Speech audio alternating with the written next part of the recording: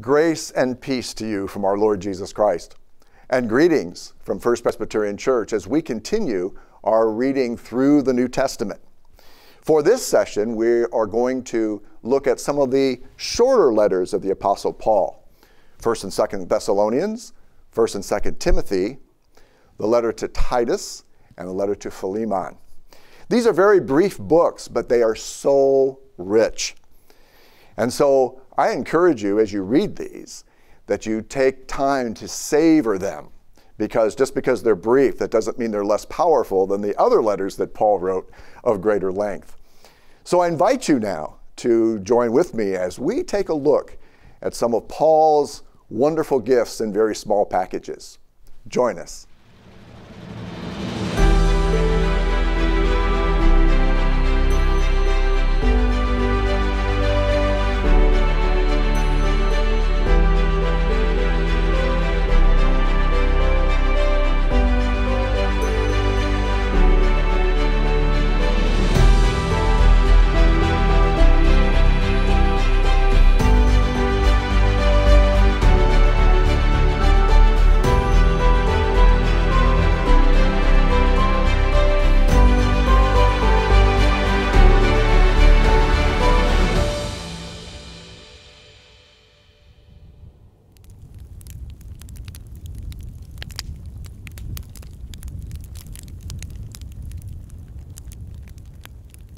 Let's begin with the two letters to the Thessalonians. These were probably written in the early 50s, so early in Paul's ministry. And the first one, uh, First Thessalonians, this is where Paul first wants to encourage the faith of the new believers and let them know of God's love and God's truth that's being revealed to them and their promise of eternal life. But he also wants to encourage them and exhort them that the Christian faith is more than just getting the story right. I mean, it certainly is that. You want to make sure that the theology and the understanding of who Christ is, you have that, that clear. But also, you want to be able to apply that to a godly life. In other words, your Christian faith should have an impact on the way you live and how you witness and how you engage other people. Also, he reassures the Thessalonians about the spiritual state of those who have passed on, because the early Christians had an expectation that Jesus was going to come back soon. And so there was some question as to well, what happens to us if we pass from this life before Jesus returns? And so he gives them uh, some teaching about that. And then finally, in 1 Thessalonians, he uh, finds it necessary to validate his role as an apostle. And this is a very important concept that will come to fruition in Timothy, which we'll talk about in a few minutes. But the Apostle Paul wanted to make sure that they understood that he was, in fact, of apostolic status. Now, why is that so important? It's important because the one concern that we will have throughout these letters is false teachers. And so Paul wants to make sure that all those who come to faith have the story right. Well, how do you know what the story is right? You know because you got it from the apostles. And that's the difference between an apostle and a disciple. Now, all apostles are disciples, but not all disciples are apostles. Because the apostle, which means one sent, particularly by Jesus, they are the ones who saw Jesus, who heard what he taught, saw off his miracles from the very beginning. They had a personal encounter with Jesus. So, Jesus invested three years into the life of 12 men. He lost one of them, add Matthias, and now the Apostle Paul. They're the ones with the real story. And that's why all of our truth that we embrace as a church is based on apostolic authority. And so Paul wants to make clear to the Thessalonians that what he's teaching is not just a matter of his own opinion or that he got it from somewhere else, but that, that this is, in fact, the divine word. Well, then we go to the second letter to the Thessalonians, which probably was written shortly after the first one. And in this case, he tells the Thessalonians how much he has been telling everybody about their faith because they're so constant and they're so faithful even in the midst of persecution. And he assures them that not to worry about those the ones who are persecuting them, that God will deal with them in his own good time. But there are two other issues that apparently are facing the Thessalonians that Paul wants to address. One of them is the question of, as I mentioned earlier, they're expecting that Jesus is going to come back soon, and they're wondering, hey, maybe the end times are here already. Maybe Jesus has already come back. What about those who have passed away? They missed it. And Paul wants to assure them no, no, those who have already passed, they haven't missed anything. In fact, when Jesus does finally return and the whole world sees him, we will all meet the Lord in the air, meaning the dead and the Lord will be raised first, and then we will join them in victory. So, not to worry. But then he gives them a warning because there's a trap. If you guys are expecting the Lord to come soon, he says that is not an excuse to be lazy. In other words, don't think, oh, well, the Lord's going to come here, so I don't have to worry about the future, so I don't have to work, I don't have to uh, make plans for the future. And basically, what Paul is saying is no, as long as you are here, God has a purpose for your life.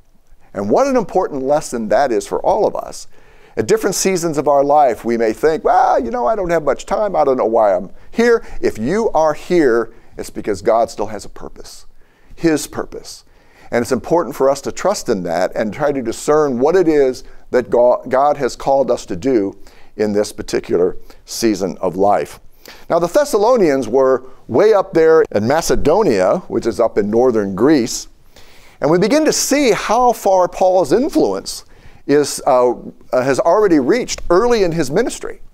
So, all through Asia Minor, all the way going over into Greece, and then, of course, as you learned earlier when we read the book of Romans, his magnum opus, that he made it all the way to Rome. Now we turn to the two letters of Timothy. Timothy is a very extraordinary young man and is a wonderful example to us because Timothy was being mentored by the Apostle Paul. He was a protege of Paul's. And so we see in these two letters the mentor giving instructions to the protege. And what a wonderful lesson that is because good leadership then trains up the next generation of leaders who then train up the next generation of leaders after that. And that, by the way, is why we here at First Church are at First Church, because all of those who went before us taught the next generation. And that is the responsibility that we also need to have uh, and embrace, in that we not only train up those new believers, but we need to train up the next generation of leaders. So in 1 Timothy, Paul wants to give Timothy instructions on church order as far as worship and as well as what to look for as he goes about choosing leaders. It's a very interesting concept that a little bit different than the process we use now.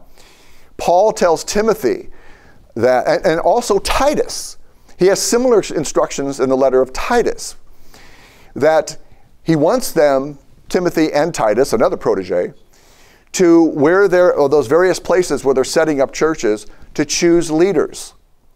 Now, in, in the Old King James and in some other translations, sometimes it's translated bishop, but that, that position had not been developed yet in the church. Perhaps a better translation is an overseer. And the way we live that out in our church is elders. That the elders, both uh, teaching elders like your pastors and your ruling elders, which are those who serve on the session, that they are the ones that Paul is talking about. And he instructs Timothy to look for certain types of people to serve that role as overseers and also deacons. Well, when he gives his list, what's fascinating about the list that he gives, and as you read it, you want to pay close attention to um, the list of qualifications or characteristics that Paul lists. You'll notice that he doesn't give a list of duties. It doesn't say, here are all the things that elders are supposed to do. And I think oftentimes we think of eldership or even deacons as like a board of directors that make decisions about when to put a roof on and that kind of thing. Well, somebody needs to make those decisions, but that's not what Paul's talking about. Actually, on the 13, 14, 15 characteristics that he lists, they're all about that person's character. There's only two in the entire list that has anything to do with what elders do, and one of them is what they do at home. And the other one is that they need to be able to teach, that is, be able to share the gospel with another person. All the rest of them have to do with personal characteristics. Now, why is this? It's because Paul is trying to make it clear to Timothy Timothy, you want to choose people on the basis of who they are, not by what, they, what they're called to do. Who are they?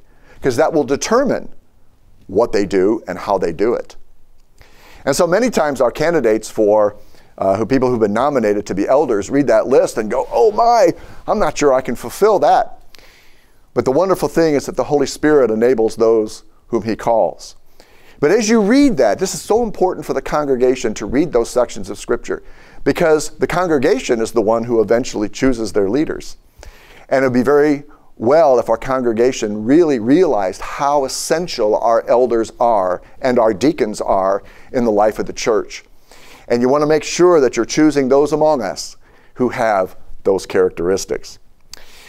In 1 Timothy, he also talks to some degree about order of worship and family life and some very important things that uh, you'll want to savor. Now we move on to 2 Timothy. Now, 1 Timothy was probably written in the early 60s, and, and 2 Timothy, in many people's minds, was the very last letter that Paul wrote when he was in jail. Once again, Paul's in jail. He seems to frequent those places. Of course, always for the faith. And so it's like the mentor is now going to write his final instructions to Timothy. And a couple of things that come to mind to Paul as he writes this letter is that he wants to make sure that Timothy is clear on sound doctrine, that he is clear as to what Paul taught him, because now he's being commissioned to go and teach others so that they can teach. And it is so important that you get the story right, Timothy. You don't have to change it. You don't have to bring in other influences or whatever. Just teach the gospel as I, Paul, gave it to you.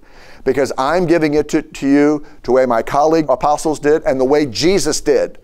And it doesn't need to be creative. You don't need to come up with new cutting edge ways of thinking about it. The gospel is the gospel and teach it in its purest form. This is his most powerful um, teaching to Timothy and as he encourages him in his future ministry. Well, Titus is very similar in this regard. However, there's a few little details that are a little different.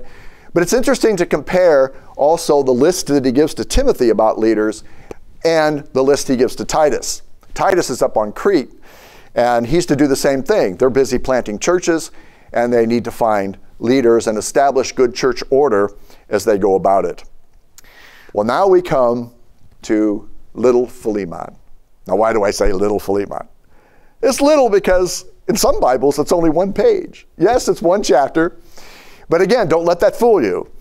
It's a powerful little letter that, quite frankly, helps us define human relationships in just a matter of a couple sentences.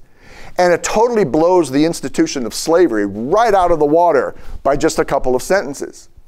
Sometimes Paul is criticized, or the Bible in general is criticized, for not having this extensive um, uh, treatise on the evils of slavery. And why don't we do that?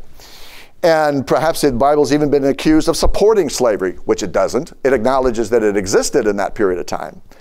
But Paul gets to the root of the matter. So, what has happened? Well, there's a gentleman named Philemon who was a believer, and he had a slave named Onesimus. Now, we have to understand that slavery back in that time was very, very different. Was a bigger spectrum than the way we think of it in modern times. Usually, when we think of slavery, we think of the horrific institution of black slavery in America and in other places. That did exist back in those days. In fact, even worse is some of the ways in which Romans treated the people they were, had enslaved. But there's not only from uh, that extreme all the way to the other, where sometimes slaves could be hired out for other work. They sometimes uh, worked on contracts for their master. They could go home at night. They could go into town and enjoy themselves. It was all varieties of ways in which the institution of slavery was exercised in that period. Sometimes it was for a brief period of time to work off a debt or uh, to pay a penalty for, for a crime or something. So the definition of slavery goes all the way from the absolute horrific to uh, a time of servitude. We don't know what Onesimus' um, situation was, but we do know that he ran away. And apparently, as he was running away, he relieved his master of some of his property. Well, eventually, Onesimus winds up uh, meeting Paul and comes to faith under Paul's uh, leadership and becomes a helper for Paul in his ministry. But now, Paul is going to send Onesimus back to Philemon, and that's where we pick up on the letter. And Paul describes why he's sending Onesimus back. Some people say, oh, well, see, Paul supported slavery. No, because he knows what he's going to do by sending Onesimus back is to change Philemon's heart forever. He says, Onesimus, who is very useful to me, because that's actually what Onesimus translates into is useful. He says, where he used to be use, useless to you, he's now useful to me. But now he's going to be even more useful to you. How? By continuing to be a slave? No. Because he tells Philemon, when Onesimus comes back, I want you to receive him as you would receive me, a beloved brother in Christ. Not a slave, a beloved brother in Christ. And you see, that is the essence right there in that one line. Why? Because if Philemon looks at Onesimus as a beloved brother in Christ, it is categorically impossible to think of him as a slave, much less treat him as one. And that's the big fallacy in human relationships since the beginning of time, is that when we look at another person in something less than a human being, something less than what God created them to be. How can you treat someone as a slave? How can you treat someone like the Nazis did to Jewish people and so many other different peoples in the concentration camps? Is you have to strip them of their humanity. You have to make their life meaningless. And what Paul is saying when you look at another person as a brother in Christ, that totally changes how you deal with that person. Even somebody that you totally disagree with, Maybe somebody that you've had a conflict with, somebody or, or some politician that you don't like. God is trying to get us to look at them the way He does. Now you might ask, well, what happens if that person isn't a brother in Christ? Well, how did our Master Jesus teach us how to deal with people who aren't believers? Enough said. And so you see how just even just this one page letter we could easily spend the rest of the day, if we had the time, to talk about the ramifications of this. But I'm going to let you meditate on that as you read the letter. So, as you read these letters, I invite you not to be in a hurry. Don't read them quickly just to get through them. They're short enough, you got a whole month. We have the opportunity to read each one very carefully and savor its riches. Savor paragraph by paragraph, maybe line by line, and in some instances, word by word. And I guarantee you that if you spend time with these brief letters of Paul, that you will be richly blessed. And I pray that it will lead to an even deeper and more rich Christian life for you. God bless you.